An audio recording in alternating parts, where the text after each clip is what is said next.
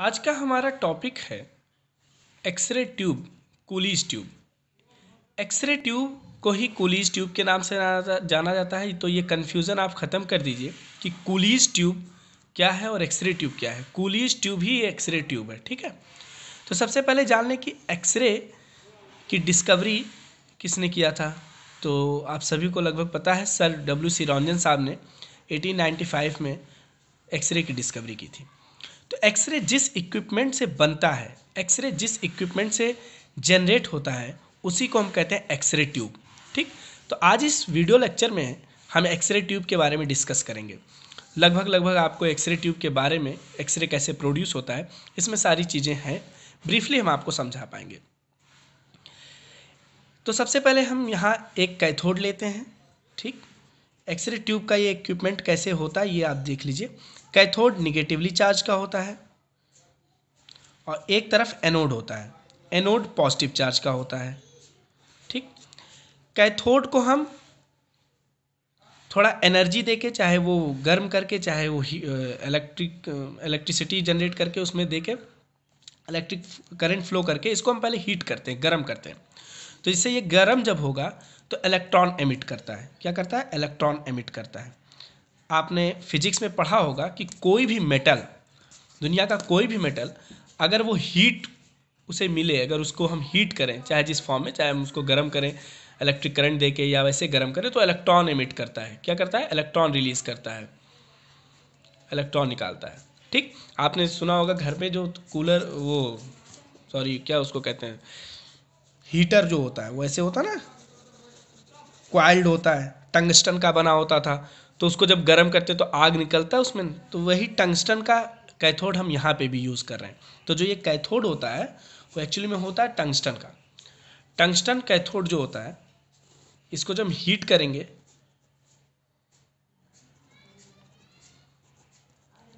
Tungsten को हम W से रिप्रेजेंट करते हैं। टंगस्टन को जब हम हीट करेंगे तो इलेक्ट्रॉन एमिट करता है इलेक्ट्रॉन निकालता है। ठीक है? इलेक्ट्रॉन रिलीज़ होता है इससे। ठीक? टंगस्टन की एक खासियत होती है टंगस्टन के बारे में जान लें इसकी जो मेल्टिंग पॉइंट होती है, वो बहुत ज़्यादा होती है। हाई मेल्टिंग पॉइंट का होता है, ठीक है? इसका एटॉमिक नंबर भी हाई होता है। एटॉमिक नंबर भी इसकी बहुत ज़्यादा होती है, ठीक? हाई होती है, ठीक है? तो ये कैथोड हुआ। एक तरफ़ कैथोड और दूसरी तरफ़ एनोड एनोड जो होता है, वो ये कॉपर का होता है, ठीक है? और इसके आगे एक टारगेट मेटल लगा होता है। ठीक है? ये टारगेट मेटल जो होता है, ये होता है आपका टंगस्टन का। तो टंगस्टन आपका दो बार आया, ठीक है? कैथोड में भी टंगस्टन ये फिलामेंट के फॉर्म में होता है, ठीक है? फिलामेंट देखिए क्वाइल्ड है। और एनोड का जो टंगस्टन है, वैसे एक मेटल लगा हुआ है टारगेट मेटल के नाम से इसे हम कहते हैं। इसी को हम टारगेट मेटल बोलते हैं। ये टारगेट मेटल है। ठीक? अब हुआ क्या था? जब हम कैथोड को गर्म करते हैं हीट करते हैं तो इसमें इलेक्ट्रॉन एमिट होता है। आपने प्रॉपर्टी पढ़ा था थर्मियोनिक एमिशन कोई भी मेटल जब हम हीट करेंगे, गर्म करेंगे तो उसमें से इलेक्ट्रॉन रिलीज़ होंगे। तो ये इलेक्ट्रॉन जब रिलीज़ होता है तो इसका यहाँ इलेक्ट्रॉन का क्लाउड बन जाता है। खूब सारे इलेक्ट्रॉन यहाँ इकट्ठे हो जाते हैं। अब किसी तरह, अगर ये इलेक्ट्रॉन इस टारगेट मेटल पे आके टकराए वो भी खूब हाई काइनेटिक एनर्जी से अगर टकराए इस पर तो यहाँ से फोटोन रिलीज़ होंगे, उन्हीं फोटॉन्स को हम एक्सरे कहेंगे। ये होगा कैसे? इलेक्ट्रॉन तेज गति से कैसे आएँगे? उसके लिए हम यहाँ हाई वोल्टेज दे देंगे। हाई वोल्टेज से दोनों को जोड़ देंगे तो इलेक्ट्रॉन की जो काइनेटिक एनर्जी वो बढ़ जाएगी। ठीक है? ये निगेटिव और ये पॉजिटिव फिजिक्स में आपने पढ़ा था कि इलेक्ट्रॉन और करंट इलेक्ट्रिसिटी इलेक्ट्रिक करंट जो होता है, ठीक है, उन दोनों का डायरेक्शन अपोजिट होता है। अगर इलेक्ट्रॉन इधर जाएगा तो इलेक्ट्रिक करंट इधर आएगा, ठीक है तो वही वाल, वही तरह, उसी तरह हाल यहाँ पे भी है। अगर हम इलेक्ट्रॉन इधर चाहते हैं तो ये जो फ्लो है इलेक्ट्रिसिटी का, वो इधर से इधर होना चाहिए, ठीक? अगर इलेक्ट्रिक करंट का फ्लो इधर रहेगा तो उसके अपोजिट साइड में और खूब तेज काइनेटिक एनर्जी से आके इस पर लड़ेंगे, ठीक? और जैसे ही इस पर लड़ेंगे टारगेट मेटल पे, बस तुरंत यहाँ से फोटोन रिलीज़ होगा। और these photons are called x-rays समझ में आए बात? तो कैथोड को सबसे पहले हम हीट करेंगे, जिससे इलेक्ट्रॉन का एमिशन इसमें हो। इलेक्ट्रॉन का जो क्लाउड बनता है, जब इसमें हाई वोल्टेज देंगे हाई वोल्टेज से दोनों को जोड़ देंगे तो खूब ज़्यादा इलेक्ट्रॉन यहाँ पे आके लड़ेंगे और टारगेट मेटल से एक्सरे जनरेट होगा।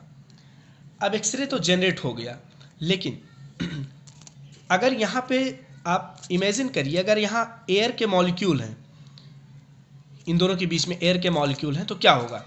ये जो इलेक्ट्रॉन खूब तेज़ी से आ रहे थे, वो इस, उतनी तेज़ी से नहीं आ पाएँगे स्कैटर्ड हो जाएँगे। आएँगे, इधर मुड़ जाएँगे। कुछ इलेक्ट्रॉन इससे आएगा, इससे टकरा के इधर। तो ये क्या हो जाएगा इन दोनों में? स्कैटर्ड होने लगेंगे। तो उतनी तेज़ी से यहाँ आएँगे नहीं। जितनी मात्रा में एक्सरे निकाला था, वो भी नहीं निकलेगा। तो ऐसा कुछ किया जाए कि इस इक्विपमेंट को चारों तरफ़ से घेर दिया जाए ताकि इसमें एयर ना हो वैक्यूम बन जाए। तो इसीलिए जो एक्सरे ट्यूब होता है, वो आपने सुना होगा कि वैक्यूम होता है। क्या होता है? वैक्यूम वैक्यूम ट्यूब में एक्सरे ट्यूब होता है, ठीक है? अब समझ में ये इतना खुला है एक्सरे निकलने के लिए। थोड़ा हल्का लेयर होता है यहाँ पे, ठीक? अब ये जो ट्यूब है, ये वैक्यूम ट्यूब है। कैसा ट्यूब है? तो आपसे ये भी पूछा जा सकता है कि एक्सरे ट्यूब कैसा होता है? तो वैक्यूम ट्यूब होता है। कैसा ट्यूब होता है? वैक्यूम क्योंकि यहाँ पे क्या है? एयर एकदम एबसेंट है। अच्छा एयर अगर रहेगा तो क्या होगा? उतने अच्छे से एक्सरे जनरेट नहीं होंगे। तो ये बात समझ में आया एक्सरे ट्यूब के बारे में? एक्सरे ट्यूब एक बार फिर से रिकॉल करते हैं। एक्सरे ट्यूब को कूलीज ट्यूब के नाम से जाना जा जाना जा सकता है।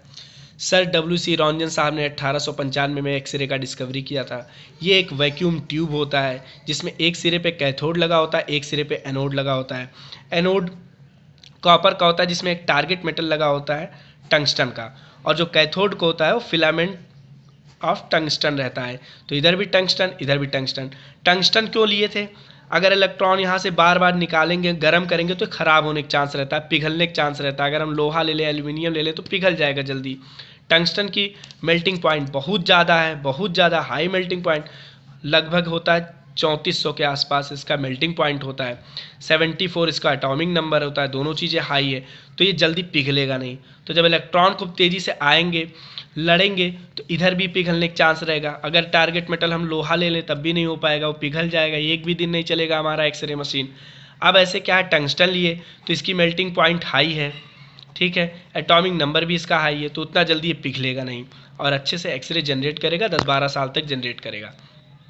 ठीक? दूसरी चीज़ ये कि एक्स ये जो एनोड होता है एनोड के पीछे एक और ट्यूब लगी होती है एक। उसका नाम है कूलिंग ट्यूब कूलीज नहीं कूलिंग ये ठंडा से आया है। कूलिंग ट्यूब ये कूलिंग ट्यूब क्या करता है? ये जो एनोड है, इसको एक ठंडा किया रहता है, इसमें वाटर भरा होता है। अब ठंडा करने का सेंस ये है कि अगर एनोड बार बार इस पर इलेक्ट्रॉन पे आएँगे एनोड पे तो एनोड क्या होता जाएगा? धीरे धीरे पिघल जाएगा। ठीक है टंगस्टन का बना मज़बूत है। आज नहीं, दो चार साल नहीं, दस साल में पिघलेगा। तो अब ये दस साल में अगर पिघलेगा, अगर हम इसमें कूलिंग ट्यूब लगा दिए तो ये हो सकता है बारह, तेरह चौदह साल तक ये चल जाए। तो इसलिए यहाँ कूलिंग ट्यूब लगा देते हैं तो उतना जल्दी ख़राब नहीं होता है। तो ये पूरा कॉन्सेप्ट है एक्सरे ट्यूब का। एक लास्ट चीज़ है, कैथोड में एक ट्यूब वो लगा होता है। तो ये जो कैथोड होता है, इस पर एक फोकसिंग ट्यूब लगा होता है, ठीक है? इसका काम हम बताएँगे क्या होता है ये। ये मॉलीवेडनम का होता है, ये इंपॉर्टेंट है, जानना आपके लिए मॉलीवेडनम का होता है। ये भी एक तरह का एलिमेंट है, जो कि हाई मेल्टिंग पॉइंट का है। ये क्या करता है, जो इलेक्ट्रॉन एमिट होते हैं, उसको एक डायरेक्शन पे फोकस करता है, ठीक? एक डायरेक्शन में। इधर उधर स्कैटर्ड नहीं होने देता है। तो इससे ये फ़ायदा है कि जो ये इलेक्ट्रॉन आ रहे हैं, इस पर लड़ रहे हैं, वो क्या होंगे? सीधे इसी पे आके टारगेट मेटल पे लड़ेंगे और फोटोन जनरेट करेंगे। फोटोन का सेंस ये है कि एक्सरे जनरेट करेंगे। ठीक है? तो ये फोटोन जनरेट करेंगे। एक्सरे इस तरह प्रोड्यूस होता है। और ये जो ट्यूब होता है, ये वैक्यूम का होता है। एयर एबसेंट होता है। ठीक है? इसी को हम कूलीज ट्यूब के नाम से भी जानते हैं। तो ये जो टारगेट मेटल होता है टंगस्टन। एक बार इसके बारे में और जान लें, इसकी मेल्टिंग पॉइंट बहुत हाई होती है। एटॉमिक नंबर इसका हाई होता है। इसीलिए हम टंगस्टन का यूज़ करते हैं ताकि वो जल्दी पिघले ना। ये इसका सबसे बड़ा खासियत है टंगस्टन का। वो जल्दी पिघलता नहीं है, जल्दी ख़राब भी नहीं होगा। दूसरी चीज़ ये ये जो हमारा ग्लास होता है, ये जो ट्यूब जिसको हम कहते हैं कि वैक्यूम ट्यूब होता है, इसमें एयर नहीं होता ये जो ग्लास बना होता है, ये पायरेक्स ग्लास इसको कहते हैं। पायरेक्स ग्लास के नाम से जाना जाता है। इसकी भी मेल्टिंग पॉइंट हाई होती है। ये छोटा, ये ये कांच नहीं है जिससे हम लोग चेहरा देख लेते हैं। वो तुरंत टूट जाएगा, पिघल जाएगा। ये पायरेक्स ग्लास बहुत मज़बूत होता है। इसमें जो इलेक्ट्रॉन रिलीज़ होते हैं तो वो उससे ये ख़राब नहीं होता है। कई साल तक ये चलता रहता है। तो ये पूरा चीज़ एक डिटेल में आपको मैंने बता दिया एक्सरे ट्यूब एक बार फिर से रिकॉल करा देता हूँ। एक्सरे ट्यूब कूलीज ट्यूब के नाम से जाना जाता है सर डब्ल्यू सी रंजन साहब ने अठारह सौ पंचानवे में इसकी डिस्कवरी किया। एक तरफ़ कैथोड, एक तरफ़ एनोड, फोकसिंग ट्यूब जिससे इलेक्ट्रॉन एक जगह पे केंद्रित होकर इस पर गिरे टारगेट मेटल पे और एक्सरे जनरेट करें। That's all about x-ray tube